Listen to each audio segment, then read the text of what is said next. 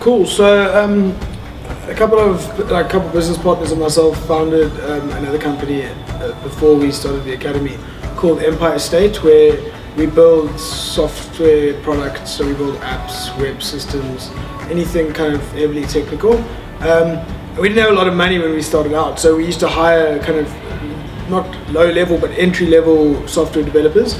Um, but before we'd able to get like commercial value out of them, they would need to be like trained up and, and brought to like the right skill levels. But the problem we were experiencing is that as soon as we'd get them to those skill levels, they would be poached or they would go find work elsewhere. So we were essentially just providing this like training facility where we're like getting uh, teaching guys how to dev, and then they were leaving. So we decided that instead of doing this, like carrying on going down this path, why not just create a company that could solve that that issue itself? And that's how the academy was born. That's the history of how things got started.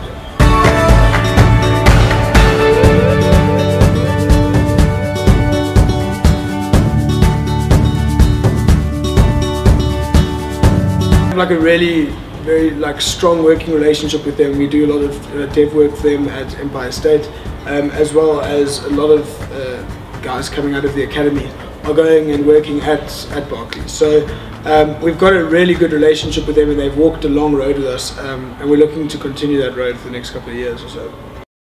So a normal day involves um, us um, sort of going over the problems of, of the day before. So we would deal with the code, some of the problems we had. So we look at the code, and some of the, the members, what the members have, and brainstorm some ideas. Um, there's intense arguments about um, why such some solution would be the best. So then we would argue over that.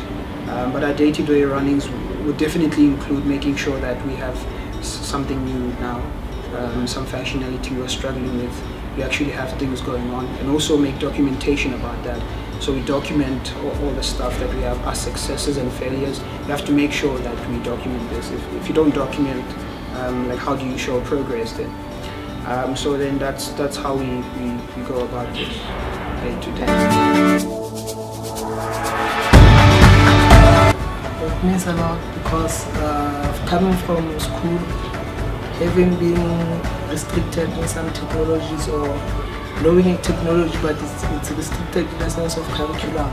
But since we came here digital, we were given like a platform to do whatever, use any technology, get hands-on and build whatever it is that would make a value proposition to the clients out there and make money.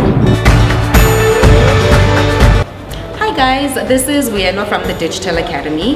If you'd like to get involved, please do visit our website. It's www.thedigitalacademy.co.za. We are also on social media. Our Twitter handle is at StreetDev and on Facebook it's the Digital Academy. So please, by all means, we'd love to have you.